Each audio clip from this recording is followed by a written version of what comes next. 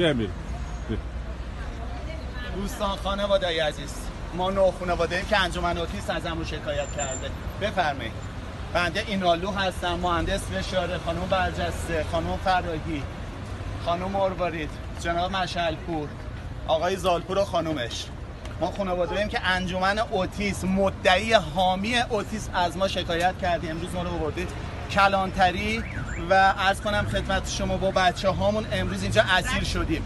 بازی جدیدی شروع کرده تعلیق کرده به دستور هیئت مدیره که ما رو ببره بیاره خسته کنه تا ریزش کنیم تنها بمونیم. ما احتیاج داریم خانواده های عزیز بیاین وایسین. به خاطر فرزنداتون آینده فرزنداتون بیاین وایسین.